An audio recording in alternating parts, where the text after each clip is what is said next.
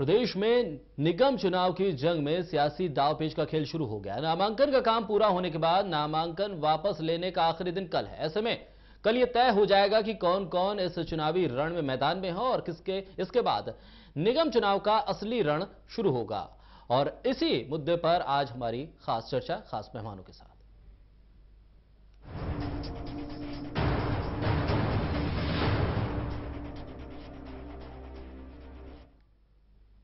तो हमारे खास मेहमान हमारे साथ इस चर्चा में जुड़े हुए हैं। सतवीर सियाज साहब इंडियन नेशनल लोकदल से हमारे साथ इस चर्चा में जुड़े हैं और तरुण भंडारी साहब, कांग्रेस से हमारे साथ इस चर्चा में हिस्सा ले रहे हैं। तो वहीं भारतीय जनता पार्टी से सुदेश कटारिया इस चर्चा में हिस्सा ले रहे हैं। चलिए चर्चा की शुरुआत करें। सुदेश कटारिया, आपके पास आऊँगा सबसे पहले। आपकी नाक की लड़ाई बन चुकी है शायद ये चुनाव, और इसीलिए आप सभी दाव पेच आजमा रहे हैं। और जिस तरह से मनीष ग्रोवर का जो बयान आज सामने आया है उससे तो यही लग रहा है कि आप लोगों को साढ़े चार साल के काम पर भरोसा नहीं है। आपको बंदूक लाठी डंडों और गुंडों पे भरोसा है। और आज टीवी डिबेट में कह रहे हैं कि मनीष ग्रोवर आने वाले समय में कोई अहमियत नहीं रखते हैं। जिस प्रकार से भारतीय जनता पार्टी की ऐतिहासिक सरकार ने और हमारी ऐतिहासिक तो ये तमाम जुमलेबाजी है ना आप वो रोकिए और बताइए कि आप मनीष ग्रोवर के बयान को किस तरह से लेते हैं भारतीय जनता पार्टी क्या उनके बयान पर माफ़ी मांगेगी? ईमानदारी के नाम पर आने वाले समय में कौन सी ईमानदारी? भारतीय जनता पार्टी प्रचंड बहुमत से सरकार बनाने का काम करेगी। मनीष ग्रोवर के बयान की निंदा करते हैं आप? देखिए उसका निजी बयान हो सकता है। निजी बयान? प्रचार करने के लिए पहुँचते हैं मंत्री हैं और आप कहते हैं उनका निजी बयान है। किसी बंद कमरे में नहीं दिया है चुनावी सभा में दिया है। जाकिर जी किसी का भी किसी मंत्री है चाहे कोई एमएलए है चाहे कोई जनप्रतिनिधि उसका निजी बयान भी हो सकता है। लेकिन अगर प्रदेश की जनता आप इंडोर्स तो करते हैं। जो उन्होंने कहा लाठी डंडे और बंदूक गोलियों का इस्तेमाल करने की बात जो उन्होंने कही है आप उसका समर्थन करते हैं या उसकी निंदा करते हैं? सुदेश कटारिया। और ना भारतीय जनता पार्टी में इस प्रकार की राजनीति कभी नहीं ना रहेगी। विकास और ईमानदारी के नाम पर हरियाणा आप उनके बयान की निंदा करते हैं या समर्थन करते हैं सुदेश कटारिया? निगम के सीधा जवाब चाहिए। भारतीय जनता पार्टी सरकार बनाने का काम करेगी। सुदेश कटारिया सीधा जवाब निंदा करते हैं या समर्थन करते हैं बयान का? एक चीज़ हो सकती है मैं निंदा करता हूँ ना मैं समर्थन करता हूँ। तो आप क्या है फिर पार्टी में? वो क्या है पार्टी में? लेकिन मैं भारतीय जनता पार्टी का प्रवक्ता होने के नाते आपको बताना चाहता हूँ कि प्रदेश में 500 जिलों की जनता तय करेगी ईमानदारी और विकास कौन सी ईमानदारी? बंदूक के साथ ईमानदारी आप? भारतीय जनता पार्टी की सरकार बनाने का काम करेगी। किस तरह से? ये देखिए ये नेता वाले जो भाषण है ना ये टीवी डिबेट में आके वो भाषण आप देते रहिए। जनता सुन रही है आपको उस बयान पे साफ़ तौर पर बताइए निंदा करते हैं समर्थन करते हैं। साकिर जी जनता आकलन भी करेगी और आने वाले समय में पाँच सौ जिलों में आप देख लेना भारतीय जनता पार्टी की सरकार प्रचंड बहुमत से बनने जा रही है। हमारी ईमानदारी और विकास के नाम ठीक है। आपका तरुण भंडारी जी क्या लग रहा है आपको? जो चुनाव होने जा रहे हैं नाक की लड़ाई बन गई है अब। कैसे भी हो चुनाव जीते। शाकिर जी भारतीय जनता पार्टी ने हमेशा से प्रजातंत्र की हत्या करने का काम किया है। जी। आप देखिए जो ये चुनाव हो रहे हैं पाँच नगर निगम के इसको सात महीने लेट किया और जो कि बिल्कुल नहीं कर सकते थे। और आज भी पंचकूला और अंबाला का जो है मामला वो कोर्ट में अटका हुआ है। ये जींद का उपचुनाव ये नहीं करवाना चाहते, वहाँ एफिडेविट देते हैं कि चुनाव की अभी ज़रूरत नहीं है। ये लोग कभी भी प्रजातंत्र में विश्वास नहीं करते। इन्होंने जब जब भी चुनाव आए हैं, इन्होंने लाठी गोलियाँ और ये चीज़ें चलाई हैं, इसमें कोई दो राय नहीं। चाहे जाति के आधार पर लोगों को लड़ाया हो, चाहे धर्म के आधार पर लोगों को लड़ाया हो, जो भारतीय जनता पार्टी के प्रवक्ता ये बात बोल रहे विकास और ईमानदारी, मैं इनसे पूछता हूँ, विकास कौन सा? जो चंडीगढ़ में पाया गया था सुभाष बराला जी का वो विकास की बात कर रहे हैं या किसी और विकास की? मैं बताना चाहता हूँ कि स्मार्ट सिटी बताएँ। इन्होंने स्मार्ट आप अपना रुकिए। आप रुकिए अपने वक्त में बोलिए। आप रुकिए अपने वक्त में बोलिए। आप ज़्यादा ज़्यादा ज़्यादा चीखने चिल्लाने से चर्चा नहीं होती और आप ऊँची आवाज़ में बोलोगे तो इसका मतलब सच्चे नहीं और आप रुकिए बाद में बात कीजिए। नहीं सुदेश आप बात कीजिए आपके वक्त में मैंने बड़ा धैर्य से सुना। आप चर्चा करने का ढंग सीखिए पहले। सुदेश कटारिया। शाकिर जी को रोकने का काम कीजिए। सुदेश कटारिया। नहीं सुदेश कटारिया। सुदेश कटारिया जब आपका ईमानदारी वही है जो आपने एचएसएससी में एसआईटी बनाई थी। चार लाख रुपए की नौकरी दस लाख रुपए की नौकरी और परसों ही आपको फटकार पड़ी है उन नौकरियों के मामले में। माननीय न्यायालय ने आपको यह कहा है कि आप किन कर्मचारियों को सस्पेंड करना चाहते हो? 2000 जो कॉल रिकॉर्डिंग है, उनको सुनो, उनमें कितने बड़े नेता हैं, कितने आपके बिचौलिए हैं, वो पता चलेगा आपकी ईमानदारी कितनी है। किन लोगों ने चार लाख और दस लाख की बात की? आप उसी चेयरमैन को दोबारा उसी पद पे बैठा देते हो, जो चार लाख और दस लाख में नौकरियाँ बेचता है। यह है आपकी ईमानदारी। माइनिंग घोटाला अगर उजागर होता है तो आप उस पर कार्रवाई नहीं करते। आपके विधायक कहते हैं कि हाँ माइनिंग में घोटाला चल रहा है। आप किस बात की? अगर गवालपाड़ी में आपके विधायक कोई क्वेश्चन उठाते हैं विधानसभा में तब उसके ऊपर कुछ नहीं होता। आप तो कभी भी आप भ्रष्टाचार पे लिप्त सरकार है एक सौ और विकास की बात आप करते हो मुझे बता दो कौन सी स्मार्ट सिटी आपने बनाई कौन सा आदर्श गाँव बनाया क्या कच्चे कर्मचारियों को आपने पक्का कर दिया क्या युवाओं को दो लाख रो, रोज़गार आपने दे दिया क्या स्वामीनाथन योग लागू कर दिया? आप बताइए महिलाओं का सुरक्षा की बात करते हो महिलाओं क्राइम के रेट में हरियाणा तीसरे नंबर पे आ गया। तीन बार आपने हरियाणा जलाया। आप बताने का काम कीजिए कौन सा विकास आपने किया?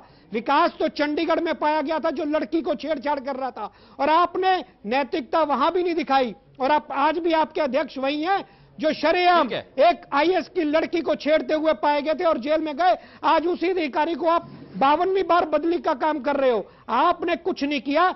आपने बदला और बदली की कार्रवाई की आपने जो वादे किए थे वो सारे जुमले हैं। आज आप भाषणबाजी नहीं कर सकते। आपकी भाषणबाजी जनता सुन रही है।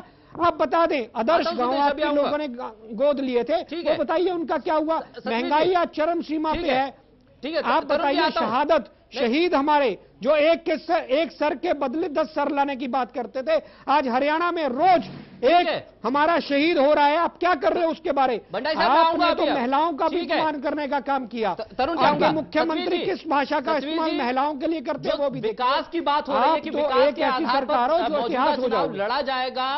क्या आपको उस दावे में हकीकत नज़र आती है? क्योंकि सरकार लगातार ये दावा कर रही है कि साढ़े चार साल में जो विकास के काम हुए उसके आधार पर भारतीय जनता पार्टी मैदान में है और चुनावी सिंबल पर खासतौर पर आप ही दो पार्टियाँ हैं जो मैदान में हैं। मैं कहना चाहूँगा जी। इंडियन नेशनल लोकदल और बहुजन समाज पार्टी पार्टी का हिसार में प्रत्याशी है एडवोकेट अमित सैनी जी। जी। और वो भारी मतों से जीतेगा। बीजेपी की जहाँ बात है बीजेपी के पास तो अपना कैंडिडेट ही नहीं था। इन्होंने एक डेढ़ महीने पहले से ही जिसने अजका की टिकट पर चुनाव लड़ा था जी। उसको इनने गोद लेके अपना प्रत्याशी बनाया है। करनाल में कैंडिडेट कहाँ है? दिया प्रकार गया जो आदमी जो बीजेपी के दावेदार थे वो 10 घंटे में ही पाड़ा बदल कर जी। कांग्रेस के खेमे में चले गए। कांग्रेस के एक गुट ने उसको समर्थन दिया है।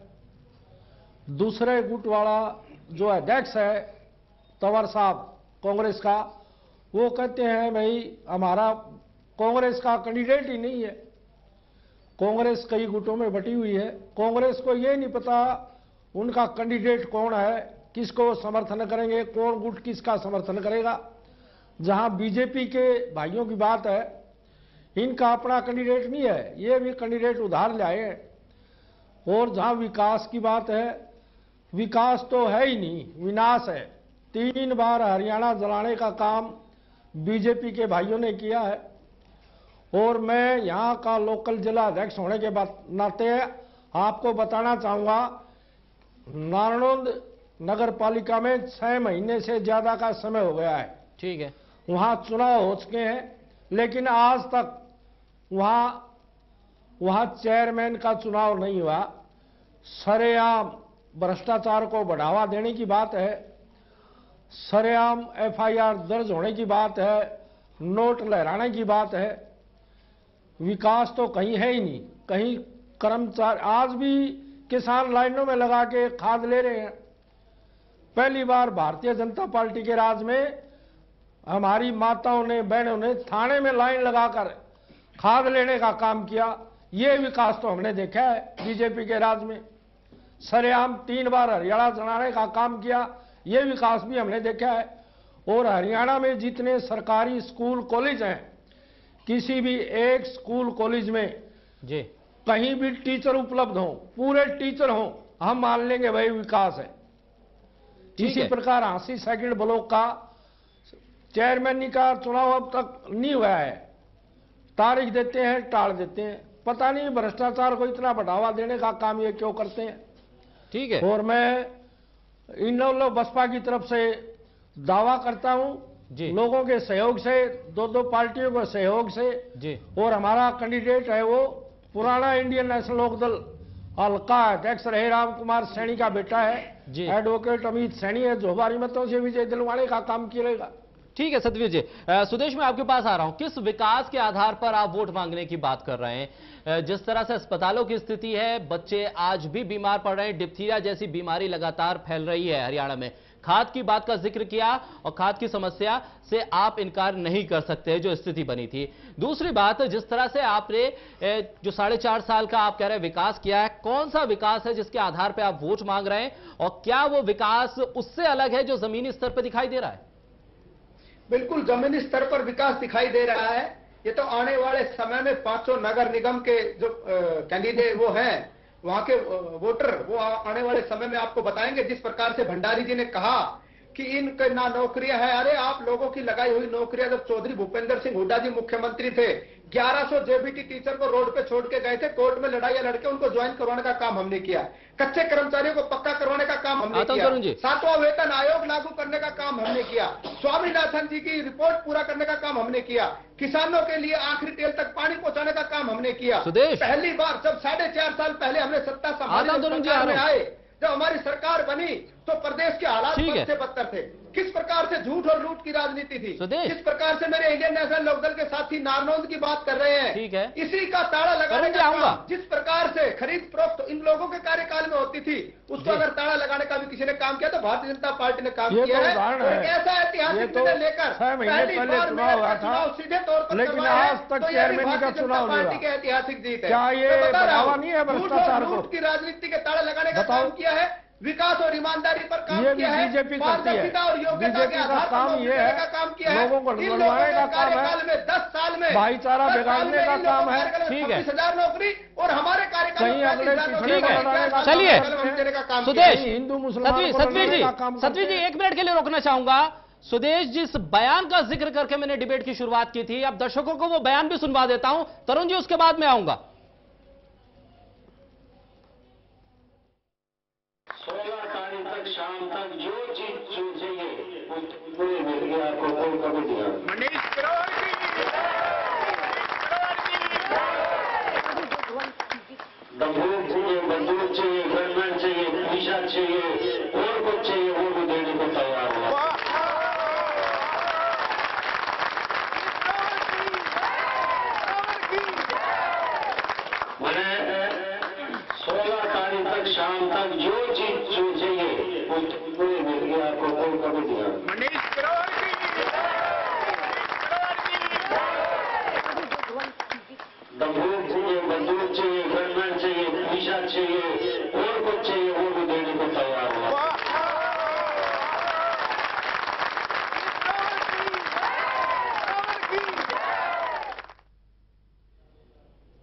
तो सुदेश ये था विकास, जो मनीष ग्रोवर कह रहे थे कि 16 तारीख तक जो चाहिए वो मिलेगा। बंदूक चाहिए, गनमैन चाहिए, पैसा चाहिए, सब मिलेगा।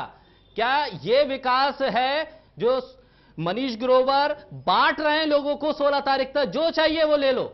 चुनाव जीतो। देखिए मुझे नहीं लगता कि मनोज मनीष ग्रोवर जी ने इस प्रकार की बात कही जैसे ये कौन था? ये कौन था? ये कौन था? मुझे सुनाई दे अरे मेरी बात तो सुनिए साकिर जी। जी। बड़े सम्मानित हमारे मंत्री हैं बड़े प्रतिष्ठित हैं। इस प्रकार की अगर बात कही है तो वो गलत है। गलत है। निंदा करते हैं आप। निंदा करते हैं आप उनके बयान की। मैं अगर इसी इस प्रकार की कोई बात करता है निंदा करता हूँ। बिल्कुल ठीक है भारतीय जनता पार्टी के प्रवक्ता मनीष ग्रोवर के बयान की निंदा करते हैं टोटल न्यूज़ के ऊपर। प्रतिष्ठित आदमी चलिए। हमारे सम्मानित मिनिस्टर हैं वो इस प्रकार की भाषा का इस्तेमाल कर सकते हैं। मुझे नहीं लगता। आपको लगता नहीं है लेकिन निंदा करते हैं आप।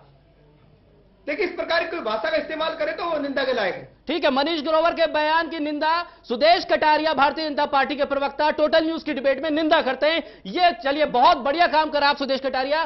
कम से कम आप तो एक ऐसे नेता निकले जिन्होंने हौसला दिखाया कि सही को सही और गलत को गलत कहे। तरुण भंडारी जी।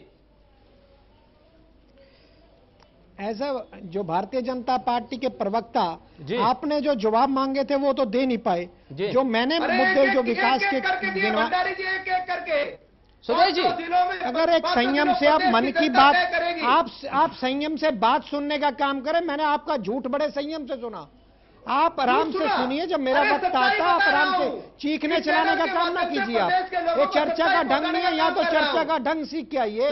मैंने आपके समय में बिल्कुल संयम से सुना आपको। अच्छा, आप भी बड़े संयम से सुने मोदी जी ने आपको मन की बात करना तो सिखा दिया दूसरे के मन की बात भी सुनना जाने आप। अच्छा तरुण जी सुदेश कटारिया साहब ने बड़े सफ़ाई से और बड़े बेहतर ढंग से बयान की निंदा की है। इसका तो आप कम से कम उनके लिए शाबाशी देंगे कि हाँ उन्होंने बिल्कुल मैं मैं मैं मैं इनका ये स्वागत योग्य कदम है।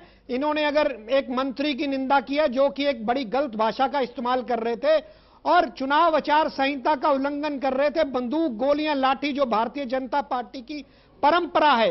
उसको आगे बढ़ाते थे परंतु कटारिया जी ने यह बात अगर कही है तो बड़ी अच्छी शुरुआत है। मैं मानता हूँ कि कोई ना कोई भारतीय जनता पार्टी का वर्कर अच्छी अच्छी बात करता है। मैं कभी भी ऐसी बात नहीं कर सकते सुनिए। हमारे बड़े प्रतिष्ठित आदमी है। हमारे ठीक है। प्रतिष्ठित और प्रतिष्ठित तो देख लिया हूँ। जनता देख रही है प्रतिष्ठित मंत्री को जो इस तरह का भाषा का इस्तेमाल कर रहे हैं कि लाठी चाहिए लाठी मिलेगी बंदूक चाहिए बंदूक मिलेगी गनमैन चाहिए गनमैन मिलेगा पैसा चाहिए पैसा मिलेगा। ये सब। प्रतिष्ठित देख लिया। आपके लिए प्रतिष्ठित हो सकते हैं जनता के लिए वो प्रतिष्ठित नहीं प्रतिष्ठित सदस्य है वो प्रतिष्ठित मंत्री हमारे। ठीक है। ठीक है ठीक है। शाकिर जी नहीं कर एक तो तरुण मैं मेरी एक आपसे नरम निवेदन है जी कि जब मैं बोलूँ तो इनको रुकवाने का काम कीजिए। ठीक है वो उलझन में आ गए भारतीय ना जनता पार्टी का यही पता सिस्टम है नहीं ये विधानसभा में भी नहीं बोलने देते। अगर कर्मचारी या लोग प्रोटेस्ट करते हैं तब भी नहीं बोलने देते। और डिबेट में भी ये शोर मचा के चर्चा को खराब करने का काम करते हैं तरुण जी अपनी बात रखिए। अब भारतीय जनता पार्टी के प्रवक्ता की मैं बात का जवाब देना चाहता हूँ। इन्होंने झूठ बोला शरेआम झूठ बोला आपके चैनल पे कि हमने कच्चे कर्मचारियों को पक्का किया स्वामीनाथन योग लोग लागू की। ये सरासर झूठ है, मैं आपके चैनल पे इनको चैलेंज कर रहा हूँ। इन्होंने साठ हज़ार नौकरियाँ जो कच्चे कर्मचारियों की, इन्होंने हाई कोर्ट में थी, उसमें पैरवाई ना करके उन नौकरियों नौकरियों को उन लोगों के घर से रोजी रोटी खत्म करने का काम किया। और अध्यादेश ये ला सकते थे, विधानसभा में भी इनकी मेजोरिटी है, लोकसभा में भी इनकी मेजोरिटी है। परंतु ये अध्यादेश ना लाके इन लोगों ने सुप्रीम कोर्ट का रास्ता अपनाया ताकि ये मामला पेंडिंग चला जाए। और जो नौकरियों हमारे वक्त की नौकरियों की ये बात कर रहे हैं वो मान्य न्यायालय के आदेश पे उन्नीस हज़ार पाँच सौ नौकरियाँ इन्हें दी है। अभी पिछले दिनों ही आरटीआई का खुलासा हुआ सिर्फ़ छह सौ सैंतालीस। आप सुनने का संयम रखें संयम रखें मैं आपको कई बार कह चुका हूँ संयम रखे आप। चिल्लाने आपने विकास का कोई काम गिना नहीं पाए अब कोर्ट में उनकी लड़ाई हमने लड़के उनको ज्वाइन करवाने का काम किया आप लोग रोड में आपने कोर्ट में कोर्ट में ने आपको देश क्या परसों भी एसआईटी के मामले सुनिए शाकिर जी मैं बात इन, इनको इनको रुकवाइए सुनिए इनको संयम से जी सुन लेते ये ये सरकार जो है आपके पास ये सरकार नहीं चला रहे मुख्यमंत्री या मंत्री। ये सरकार माननीय न्यायालय चला रहा है। अगर किसी नौकरियों में परेशानी होती है तो मान्य न्यायालय आदेश देता है इनको नौकरियाँ लगाई जाएँ। अगर पंचकूला में दंगे होते हैं तो लोगों की सुरक्षा का काम माननीय न्यायालय करता है। अगर जींद का उपचुनाव टालना चाहती है सरकार तो मान्य न्यायालय आदेश देता है कि चुनाव जल्द जल्द करवाए जाए। अगर ट्रांसपोर्ट की स्ट्राइक होती है तो स्ट्राइक के लोगों को माननीय न्यायालय बुलाता सरकार का कोई मंत्री नहीं बुलाता। आप बताइए अगर एसआईटी जहाँ पे ये भ्रष्टाचार रहित और पारदर्शिता की बात करते थे वहाँ पे इन्होंने सिर्फ़ आठ कर्मचारियों को सस्पेंड किया और जो बड़ी मछलियाँ उनको बचाने का काम किया तब भी मान्य न्यायालय इनको फटकार लगाता है और उनको दायरा बढ़ाने की बात करता है कि 2000 कॉल रिकॉर्डिंग सुनी जाए। ये सरकार मंत्री या मुख्यमंत्री ना चला के ये सरकार मान्य न्यायालय चला रहा है और हमें कानून पर पूरा भरोसा है और जिस ढंग से आज मनीष ग्रोवर जी का बयान है, मैं कल करनाल में था, मैं बताना चाहता हूँ कि वहाँ लगातार बैनर लगे हुए थे बगैर परमिशन के। भारतीय जनता पार्टी के झंडे लगे हुए थे। मैं खुद वहाँ गया और डीसी महोदय को हम वहाँ आचार संहिता उल्लंघन का मामला दे के आए हैं, परंतु मुझे इस सरकार पे कोई विश्वास नहीं। क्योंकि ये सरकार हमेशा चुनाव इसी ढंग से जीती आई है विकास का एक भी काम गिना दे ये। ठीक है। इन्होंने जो छह सौ सैंतालीस नौकरी जो आरटीआई से खुलासा हुआ है वो दिया उसमें भी भ्रष्टाचार पाया गया है। ये कहा कहा इन्होंने बेरोजगारी भत्ता दिया? कोई बेरोजगारी भत्ता नहीं कोई स्मार्ट सिटी नहीं कोई रोज़गार जो दो लाख की बात किया था वो नहीं आया कोई उद्योग धंधा नहीं आया उल्टा उद्योग धंधा यहाँ से एचएमटी जैसा संस्थान इन्होंने खत्म करने का काम किया है। ये है, सरकार ठीक है जनहित का कार्य कोई ब्रेक का वक्त हो रहा है। विकास तरुण जी ब्रेक का वक्त हो रहा है ब्रेक के बाद इस आईएनएलडी के साथी का भी जवाब देना चाहता तरुण जी ब्रेक के बाद ब्रेक के बाद ये समय नहीं है। ब्रेक के बाद मैं आपके पास आऊँगा और ब्रेक के बाद चर्चा को और आगे बढ़ाते हुए अब देखेंगे कि मुद्दे क्या है आखिर। आखिर किस आधार पर वोट मांगे जाएँगे और जनता किस आधार पर वोट करे उस पर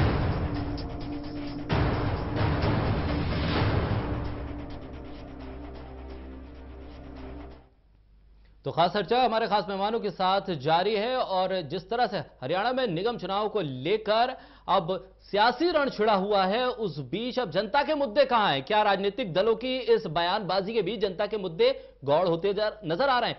चर्चा हमारे खास मेहमानों के साथ जारी है और अब जिस तरह से तरुण भंडारी जी आप अपनी बात को रख रहे थे जल्दी से अपनी बात को रखिए ताकि मुझे सतवीर जी के पास जाना है। मैं आईएनएलडी के प्रवक्ता की बात का जवाब देना चाहता था। ये हमें कह रहे हैं कि कई गुट है। पहले ये हमारे तो गुट हैं परंतु पार्टी एक है।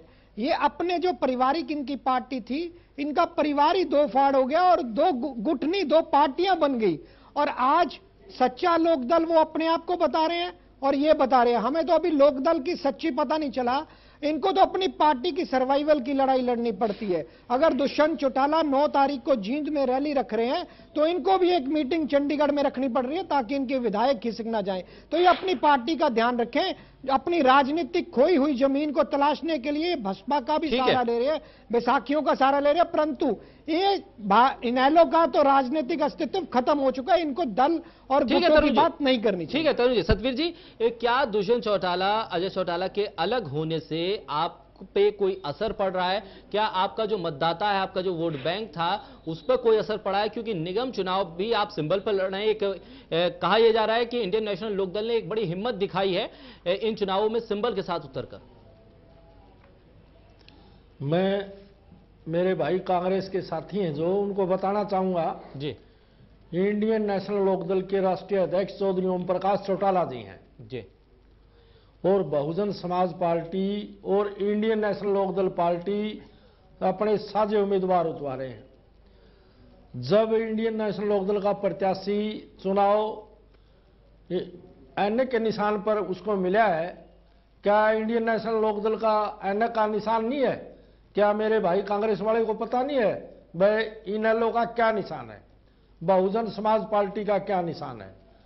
पार्टी में कोई गुटबाजी नहीं है। ठीक है। जिन आदमियों ने अनुशासनहीनता की वो पार्टी से बाहर है। ठीक। ये उनकी मर्ज़ी है वो कहाँ रैली करें क्या पार्टी बनाएँ किसके साथ जाएँ। लेकिन इंडियन नेशनल लोकदल पार्टी एक है उस पार्टी में कोई घटक नहीं है। उसके राष्ट्रीय अध्यक्ष चौधरी ओम प्रकाश चौटाला जी हैं प्रदेश अध्यक्ष श्री अशोक कुमार अरोड़ा जी हैं। और ये जहाँ कह रहे हैं भाई भाई कोई एमएलए नहीं खिसक जाए। एमएलए तो राज्यसभा के चुनाव में कांग्रेस के खिसके और सुभाष चंद्रा जी जो राज्यसभा के मेंबर बने वो कांग्रेस की मेहरबानी से तो बने।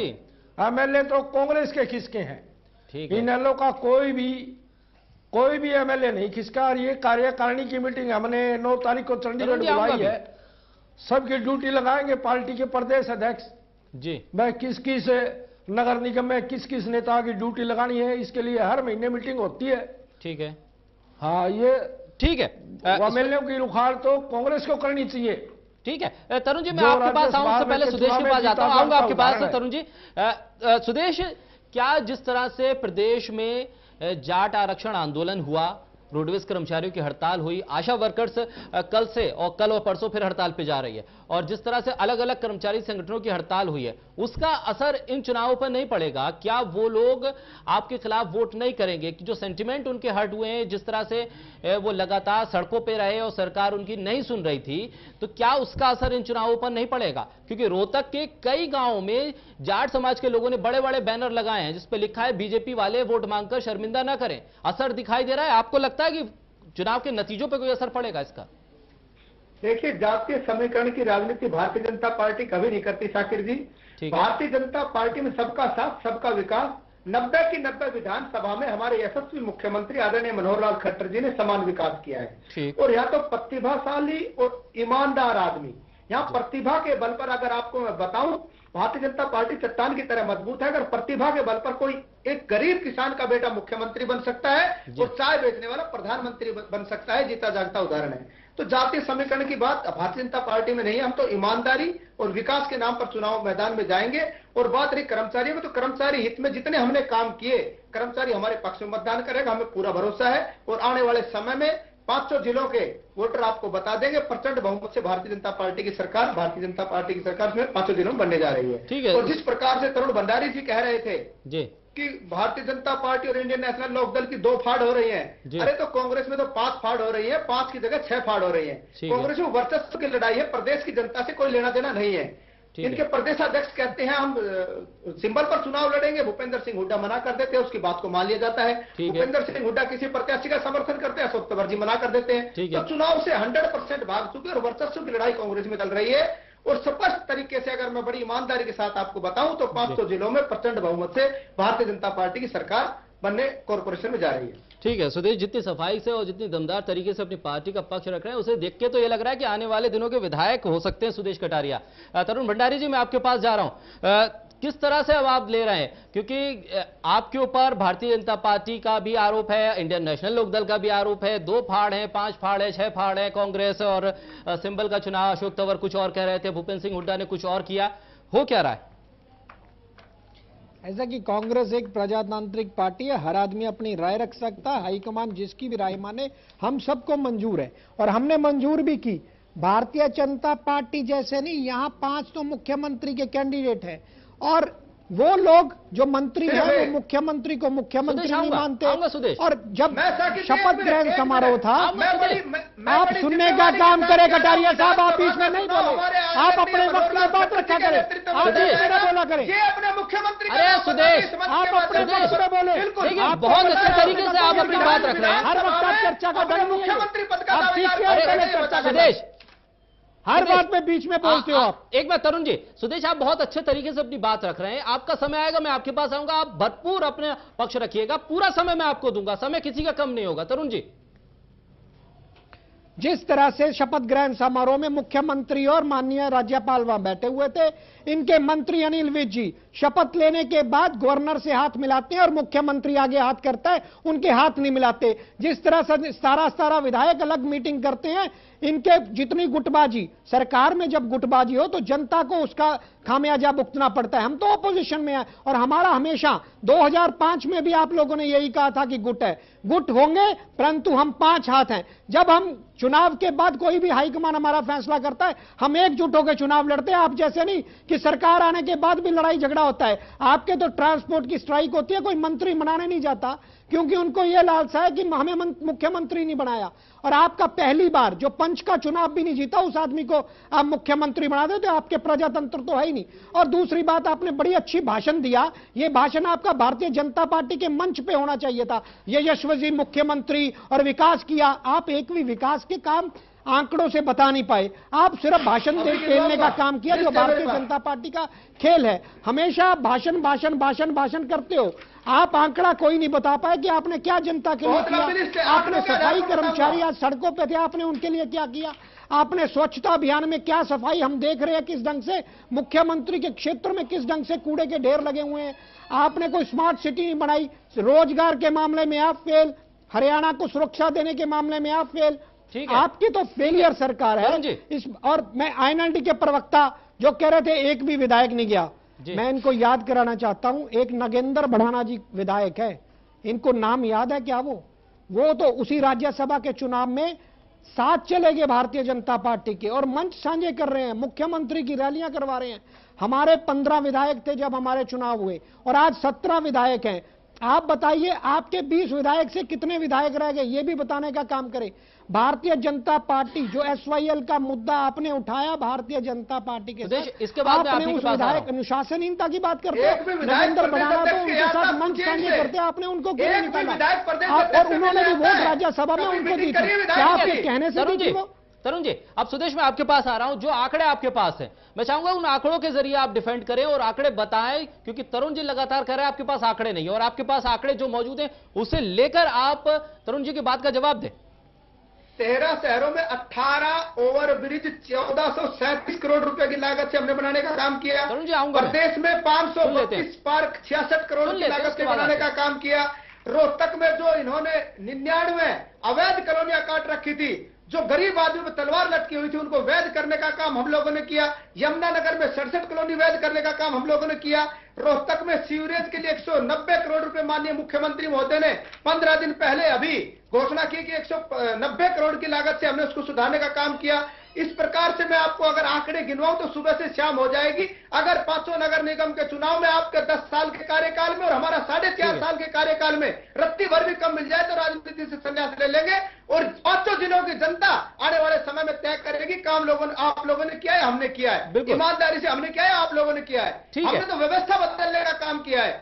हमने योग्यता के आधार पर नौकरी देने का काम किया हमने कर्मचारी को राहत पहुँचाने की काम किया हमने किसानों के लिए आखिरी तेल तक पानी पहुँचाने का काम। किया है। आज तक आज तक मैं बता रहा हूँ दस साल के कार्यकाल में जिस प्रकार से आप लोगों ने किसानों की कमर तोड़ने का काम किया हमने किसानों के हक और हकूक की लड़ाई लड़के दिखाई। आज तक का एक भी किसान साढ़े चार साल के कार्यकाल में खाद के लिए लाइन में नहीं लगा। आपके आपके कार्यकाल में लाठियों रातों रात रातों रात वहाँ लाइन लगी रहती थी। आज खाद बीज की कोई कमी नहीं है। और हमने एमएसपी बढ़ाने का काम किया। आखिरी दक्षिण हरियाणा में जहाँ पानी के लिए एक एक बूंद के लिए किसान वंचित थे वहाँ आखिरी टेल तक पानी पहुँचाने का काम भारतीय जनता पार्टी की ऐतिहासिक सरकार और हमारे यशस्वी मुख्यमंत्री है है। ठीक है सुधे तरुण जी इसका जवाब मैं आपसे चाहूँगा बहुत कम समय में क्योंकि मुझे सतवीर जी के पास जाना है। समय कम है। मैं मैं मैं शाकिर जी भारतीय जनता पार्टी के प्रवक्ता का क्लियर चैलेंज कर रहा हूँ। एक वादे नहीं इन्होंने एक सौ चौवन संकल्प लिए थे। मैं उस दो लाख रोज़गार इन्होंने दे दिए मेरे को बताने का काम करे पर व्रत प्रति वर्ष और अगर केंद्र की बात करें तो दो करोड़ रोज़गार इन्होंने पूरे देश में कहते उसका भी हिस्सा आना चाहिए। इन्होंने कच्चे कर्मचारियों को इनके अध्यक्ष कहते थे पहली कलम से पक्का करूँगा। पंजाब के बराबर वेतन मान दूँगा। क्या वो हो गया? ये बता दे। स्वामीनाथन आयोग रिपोर्ट लागू नहीं हुई। आप बताइए स्मार्ट सिटी पे जिसमें इन्होंने करोड़ों रुपए खर्च किया, उस घपले को भी हम उजागर करेंगे। वो नहीं हुआ। आदर्श गाँव ये नहीं कर पाए। महिला सुरक्षा, सीसीटीवी कैमरे के लग गए। कोई भी वादा ये सरकार, जितने भी वादे थे। ये कहते 24 घंटे बिजली देंगे कल ही गुड़गावा में। एक सिविल जो सरकारी अस्पताल है, वहाँ 12 घंटे बिजली गायब रही। एक भी यूनिट ये पैदा नहीं कर पाए। हमारे समय में जो बिजली खरीदी जा रही थी दो रुपए साठ पैसे पे इन्होंने तीन रुपए साठ पैसे पे करने का अडानी को फ़ायदा देने का काम किया।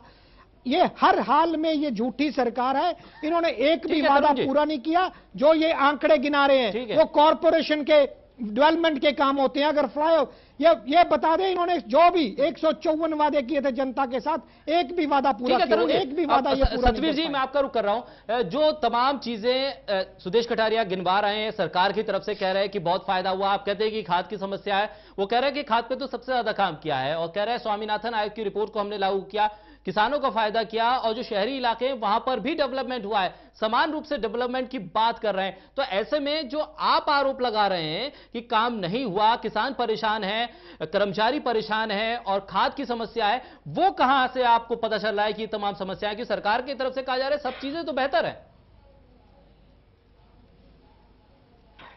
पहले तो मैं बताना चाहूँगा मेरे कांग्रेस के भाई को। जी। जो हमसे पूछते हैं "भाई आपके विधायक कहाँ गए? पहले तो आप अपने विधायकों को ढूंढो। वो किस गुट में है? उन्होंने कैसे राज्यसभा के चुनाव में चीटिंग की? जहाँ हमारे एक विधायक नगेंद्र बढ़ाना की बात ये कह रहे हैं, पिछली 17 नवंबर को प्रदेश कार्यकारिणी की मीटिंग जाट भवन, चंडीगढ़ में हुई थी। और नगेंद्र बढ़ाना जी ने बाकायदा अपने लेटर पर लिख के दिया था, मैं इंडियन नेशनल लोकदल का विधायक हूँ और मेरी इंडियन नेशनल लोकदल के राष्ट्रीय अध्यक्ष चौधरी ओम प्रकाश चौटाला में आस्था है। मैं इस भाई को बताना चाहता हूँ शायद इनको पता नहीं। तो मुख्यमंत्री की रैली क्यों करवाते हैं? फिर आपके आदेश पे वो करवाते हैं क्या? तरुण जी किस किस। कहाँ कहाँ कहाँ किस किस तरह फरीदाबाद में का उनका विधानसभा क्षेत्र वहाँ में। अपना बैल्ट पेपर दिखाने का काम किया। कांग्रेस की भीप जारी होने के बाद भी इन्होंने फिर भी खिलाफ वोट डालने का काम किया। ये इन्होंने तो सुभाष चंद्रा जी को राज्यसभा में भेजने का काम कांग्रेस ने ही किया है। जहाँ तक बीजेपी के साथी कह रहे हैं हमने विकास किया है अब नगर निगम के चुनाव हैं। नगर निगम के चुनाव में सफ़ाई कर्मचारी है। सफ़ाई कर्मचारी एक साल में छह महीने तक हड़ताल पर रहते हैं और शहरों में गंदगी के ढेर लग जाते हैं। दूसरे भी कर्मचारी चाहे रोडवेज़ के हों चाहे एनएम हो, चाहे हेल्थ की बात हो, सभी हड़ताल पर रहते हैं और खासकर म्यूनिसपैलिटी के सफ़ाई कर्मचारियों ने तो लंबी हड़ताल भी की। कई कई बार हड़ताल रही है और गंदगी के शहरों में ढेर हैं। ये पता नहीं किस विकास के नाम से वोट मांगते हैं। हमें तो ये नहीं समझाता कहाँ स्वामीनाथन आय की रिपोर्ट लागू कर दी, कहाँ इन्होंने एस का पानी लाके रख दिया। ये ही नहीं पता।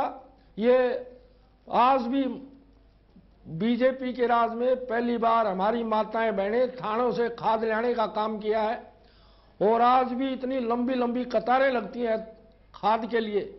जो देश का पेट भरता है किसान उसको बड़ा लाइन में लगकर खाद मिलता है कई बार मिलता ही नहीं है।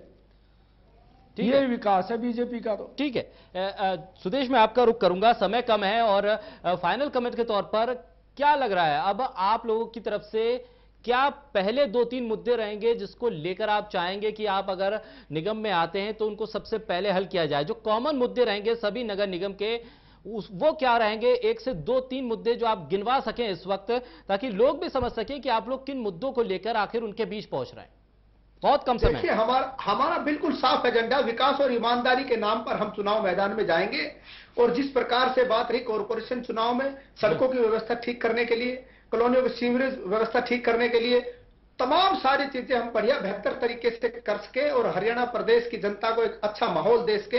वैसे तो हमने साढ़े चार साल के कार्यकाल में बहुत कुछ कवर किया है। अगर थोड़ी मोड़ी फिर भी कमी रह गई है तो विकास और ईमानदारी के नाम पर चुनाव मैदान में जाएँगे और प्रत्येक वो समस्याओं का समाधान करने का काम करेंगे जिस जिससे शहर के वासी जिससे कॉलोनी के वासी पीड़ित है, जिस प्रकार से अवैध कॉलोनियों में काम नहीं हुआ, उनके लिए भी हमारे यशस्वी मुख्यमंत्री आदरणीय मनोहर लाल खट्टर जी ने एक स्कीम बनाई है कि अवैध कॉलोनियों में किस प्रकार से काम किया जा सकता है, उनके लिए भी अलग बजट का प्रावधान किया है, वहाँ भी काम करवाया जाएगा। ठीक है, तरुण जी, आपके कुछ नेताओं ने स्थानीय तौर पर अलग अलग उम्मीदवारों को समर्थन दिया है और अगर वो लोग जीत के आते हैं तो क्या उम्मीद की जाए? क्योंकि वरिष्ठ नेताओं ने समर्थन किया है तो उम्मीद कर सकते हैं कि अगर उनमें से कोई जीता तो जो आपकी नीतियाँ हैं कांग्रेस की नीतियाँ उन वरिष्ठ नेताओं की जो नीतियाँ कम से कम लागू होंगी। क्या कुछ मुद्दे रहेंगे जिसको आप चाहेंगे कि अगर आपके वरिष्ठ नेताओं के समर्थित उम्मीदवार अगर जीतते हैं तो वो करें? ऐसा कि मैं आपको बताना चाहता हूँ कांग्रेस इस चुनाव का हमने क्योंकि सिंबल पे चुनाव लड़ने के हमारे प्रदेश अध्यक्ष ने कार्यकर्ताओं की मांग स्वीकार की थी परंतु कि हाईकमान ने कहा कि क्योंकि हमने 50 वर्ष में कभी भी सिंबल पे चुनाव नहीं लड़ा तो हम चुनाव ये सिंबल पे नहीं लड़ रहे ना ही हम किसी को समर्थन देने जा रहे हैं। और अगर कोई अच्छा आदमी होगा अगर अभी हमारी दो दिन बाद मीटिंग होगी अगर कोई अच्छा उम्मीदवार हमें लगा कि कांग्रेस भ्रष्ट भूमिका भारतीय जनता पार्टी की झूठी सरकार के खिलाफ खड़ा हुआ है तो हम उसको समर्थन देने का काम करेंगे परंतु वो हमारे प्रदेश अध्यक्ष डिसाइड करेंगे कि किसको समर्थन देना है किसको नहीं देना है। ठीक और है। जहाँ तक भारतीय जनता पार्टी के जी तरुण जी जल्दी से खत्म कीजिए दस सेकंड में। जिस तरह से भारतीय जनता पार्टी के प्रवक्ता विकास और ईमानदारी ईमानदारी तो इनकी नौकरियों में दिखी माइनिंग में दिख रही है और विकास इनका चंडीगढ़ में दिखा था उसी के बलबूते ये चुनाव लड़ेंगे और जनता इनको आईना दिखाने का मतदाता बताएँगे आने वाले समय में ठीक भंडारी जी। ठीक है। आप दोनों अकेले चुनाव लड़ रहे हो अकेले। फिर भी चुनाव हारोगे। अकेले। सतबीर जी क्या मुद्दे रहेंगे? अकेले चुनाव लड़ने के हाथ अगर में आपके उम्मीदवार तरह से लड़ने बंदूक और पहले क्या गोली का सहारा काम ले हो? रहे गया हो आप करेंगे चुनाव उसी ढंग से जीत सकते। हो वैसे विकास से चुनाव नहीं जीत सकते आप तरुण जी सुदेश जी जिस तरह से सतबीर जी का वक्त है, देखिए, बंदूक समय गोली खत्म हो और रहा है। पैसे की बात आपके तरुण जी, नहीं। कर रहे हैं तरुण जी। उसी के तरुण जी, समय आधार खत्म हो गया। चुनाव जीत सकते नहीं, तरुण जी। नहीं जीत सकते। तरुण जी सतवीर जी क्या पहले दो तीन काम रहेंगे? अगर आपका गठबंधन के उम्मीदवार जीत के आते हैं सतवीर जी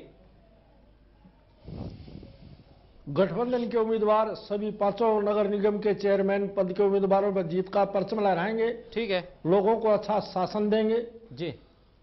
और Indian National Lokdal Bahujan Samaj party के सभी पाँचों नगर निगम के मेयर नियुक्त होंगे भारी मतों से जीतने का काम करेंगे। चलिए, बहुत शुक्रिया आप तीनों मेहमानों का, तरुण भंडारी जी आपका बहुत शुक्रिया, सतवीर सियाज साहब आपका बहुत शुक्रिया और सुदेश कटारिया आपका बहुत बहुत शुक्रिया। तीनों मेहमानों ने इस चर्चा को सार्थक बनाया। उम्मीद यह है कि जो नगर निगम के चुनाव हैं, इन चुनावों में जनता के मुद्दे ही हावी रहेंगे और जनता अपने मुद्दों को लेकर उन उम्मीदवारों का चयन करेगी जो बेहतर ढंग से उनके लिए काम कर सके।